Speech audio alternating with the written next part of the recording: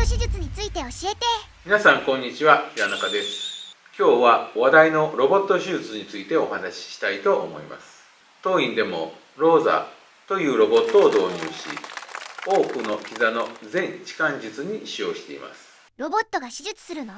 ロボットと言いますとそのロボットが全て手術をするようなイメージを持たれるかもしれませんが実際には手術のサポートがメインになります。ここで骨を切ろうと計画したところにガイドを持ってきてくれて